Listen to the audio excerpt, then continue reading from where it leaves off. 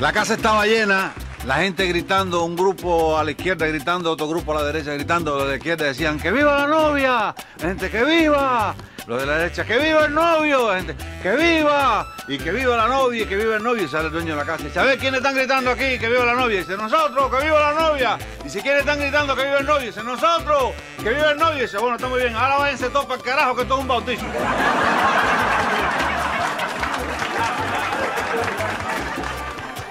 Este tipo iba todos los días a la iglesia y todos los días se hincaba de rodillas y le pedía a San Antonio. Pero, el pedido era un poco raro, porque le pedía un camión lleno de mierda a San Antonio. Entonces decía, San Antonio, lo único que yo quiero es un camión lleno de mierda. Todos los días la misma petición. Y el sacristán que lo oye un día, lo espera afuera a la salida. Y dice, óyeme, déjame hablar con usted, chico. Porque yo llevo 20 años en esta iglesia. Mire que yo he oído gente pedir cosas aquí, pero yo nunca había oído pedir eso. Usted está pidiendo un camión de mierda. ¿Usted sabe por qué usted pide eso? Dice el tipo, ¿cómo para qué? Dice, sí. ¿Cuál, es la razón de pedir un camión lleno de mierda? Dice, yo pido el camión lleno de mierda y si San Antonio me lo concede, boto la mierda y me quedo con el camión.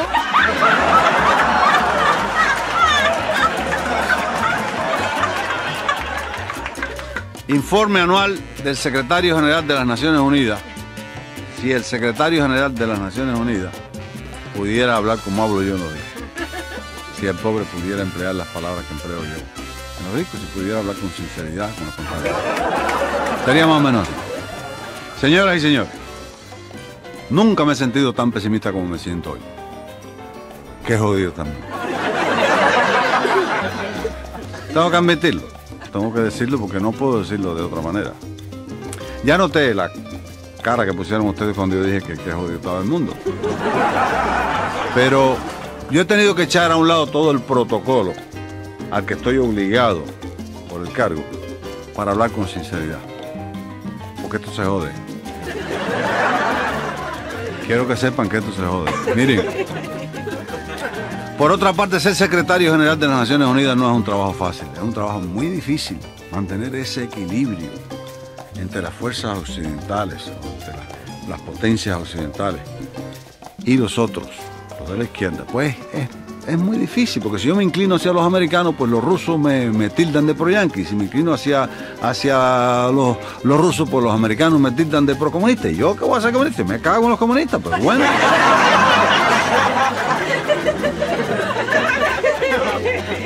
Tengo que hacer todas esas cosas para mantener un equilibrio. Y además para mantenerme en el cargo. Pero bueno, no importa. No importa hacia qué lado me incline yo, ni importa hacia qué lado se inclinen las Naciones Unidas, ni qué resoluciones hagan las Naciones Unidas. Si de todas maneras las Naciones Unidas y mierda es lo mismo. Porque este organismo, desde que se constituyó, no ha solucionado un solo problema en el mundo. No ha intervenido en un solo conflicto y ha llevado la paz. No ha podido llevar la paz a ningún solo pueblo en el mundo. Si no, fíjense cuál es el cual. Guerra en Yemen, guerra en Vietnam, guerra en Laos, guerra en todas partes. ¿Y qué hace las Naciones Unidas? Nada. Porque no puede hacer nada. Porque el hombre quiere autoextinguirse. El hombre quiere ir a una tercera guerra mundial. Sin darse cuenta que esa tercera guerra mundial va a ser una guerra con armas nucleares. Y se va a extinguir el 85% de la humanidad. Yo soy un hombre práctico, yo digo la verdad. Acaba de salir un folleto editado por las Naciones Unidas, del cual yo les voy a leer la parte que yo creo más importante. En este folleto se dan instrucciones a los ciudadanos sobre lo que tienen que hacer en caso de un ataque atómico, en caso de una guerra atómica. Dice así, esta parte a que me refiero. Cuando vea en la lejanía el destello inequívoco de una explosión atómica, corra inmediatamente hacia un refugio subterráneo. Lleve consigo suficiente comida enlatada para un mes, así como agua potable. Se provéase de velas o lo que es mejor, de una lámpara de querosene o los brillantes. Lleve al refugio una buena cantidad de libros, etcétera, etcétera. Y por ahí sigue enumerando las cosas que hay que llevar al refugio. Y añado yo, yo que soy pesimista, o mejor dicho, realista, añado yo, cuando vea el hongo característico de la explosión atómica, además de llevar toda la comida enlatada que usted quiera y toda el agua que usted quiera y todos los libros y todo lo que usted quiera y la lámpara de querosene. Quítese los zapatos, despójese de la ropa, beses el culo y diga goodbye.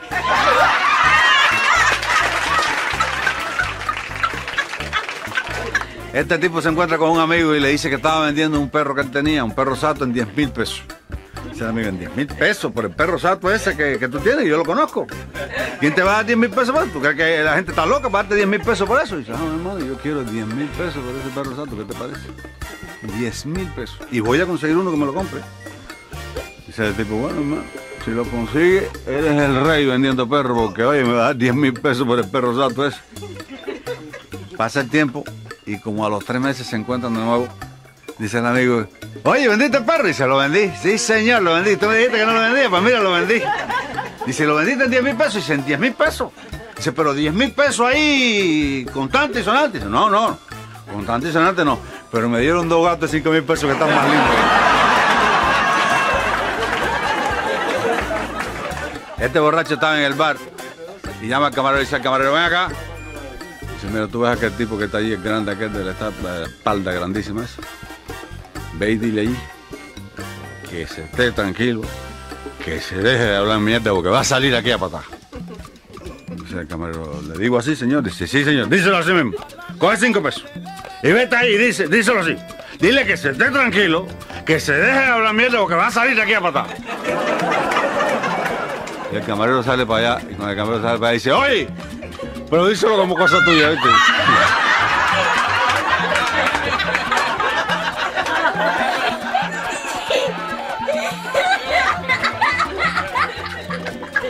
El otro borracho que vive en la guagua y dice, ¿a quién se le perdió un fajo de billetes de 20 dólares con una liguita? Dice un vivo que iba por ahí adelante. ¿A mí? Dice, mira, me encontré la liguita.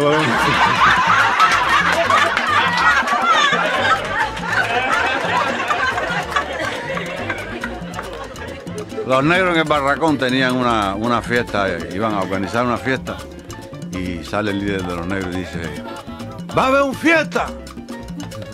Que se haga. Dice, va a haber mucha música. Dice, que se haga.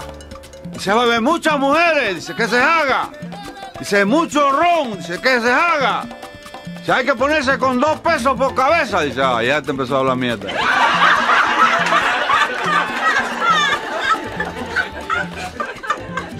Este cubano estaba en Madrid y va a un teatro a buscar trabajo, a trabajar en una obra de teatro. Cuando llega allí le explican que, que tenía que hablar castellano, que allí no podía hablar como él hablaba. Y él dice, bueno chicos, si yo no aspiro a un, papel importante, yo una, una bobería, una cosa pequeñita, y eso me lo puedo aprender. Yo puedo hablar castellano. Dice, Vaya, si me lo escribe ahí, yo voy para la casa y me lo aprendo. Y no tengo problema ninguno. ¿no? Le dice el hombre, bueno, hay varios papeles pequeños, hay uno de, de un camarero. Dice, pero tiene que hablar mucho el camarero. Dice, no, tiene una frase, pero es una frase que tiene que decirla a tiempo y decirla en castellano. Dice, Bueno, ¿cuál es la frase? Dice el, tipo, bueno, cuando el actor le pregunta cuánto le debo, él tiene que decirle 255 pesetas. Pero tiene que decirlo así, en castellano, no puede.